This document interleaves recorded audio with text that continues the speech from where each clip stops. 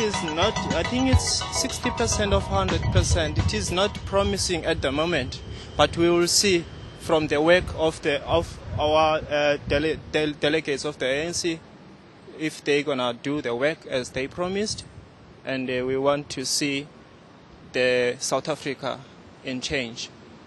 I don't know because it was better the time Nelson Mandela was in charge. Now I don't know. I don't see the future of this country. Well, I'm quite optimistic, otherwise, I would have packed my bags long ago. No, we're here to stay, and I think things will carry on looking up the way it is now. I don't see any serious problems ahead. Well, I love South Africa. I wouldn't just kind of jump up and want to go overseas at the drop of a hat. I don't feel that way. Um, so I think it's more important to stick around and try and fight for what we believe in and, and try and make things the way we want them to be, rather than just sitting around complaining at braais, you know.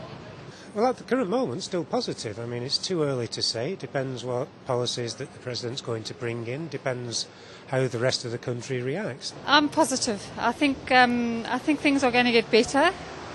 I think the new ANC government are going to be tougher than the old one, and I think they're going to make an improvement for everybody. They have to deliver, and I think the poor people are going to benefit from that.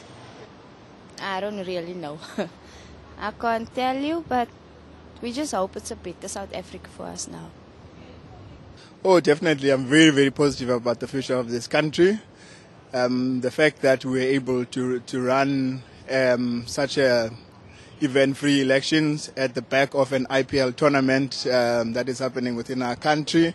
Um, the vote of confidence that we received from the government of India and the administrators of cricket for them to hold uh, the IPL in this country at the same time as we're doing an, a national election. Um, the markets responded very well to the to the election. The rand strengthened immediately as a result of the uh, free and fair elections that we had.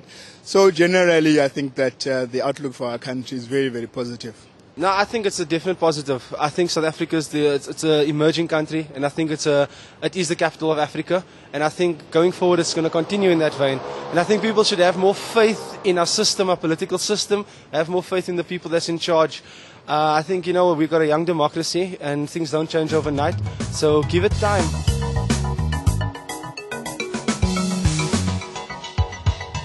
The changes that I want, must stick up to the, the promises he did, and our kids protect our kids.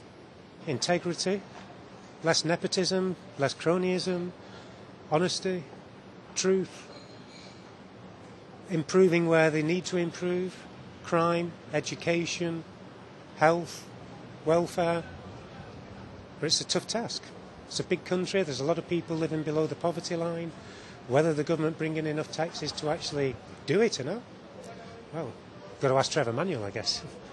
I guess before I expected any new change, I, I would expect um, some kind of recognition of what was wrong in the past. So that's why I'm probably a bit skeptical. You know what? Start looking more at the people. You know, start implementing all the policies that they've always believed in. Uh, stop trying the infighting. Stop politicking. Actually, start getting down to the dirty work. Uh, getting the people to believe in them a bit more. So I think the more they continue in that vein, I think we'll be moving forward. Well, less crime. I hope for um, more jobs for people. I hope for less poverty for poor people, so that there's less. Um, you know, they don't have to do crime if they've got jobs and income and that sort of thing. So hopefully that's all going to improve. Well, what we all say, less crime. I mean, it's a thing that every person says. Uh, less corruption, and uh, just come true on all their promises, which is going to be very difficult in this economic climate. Let's face it, money scarce. But uh, they've promised the people a lot. They better come through with it, otherwise they're going to have trouble.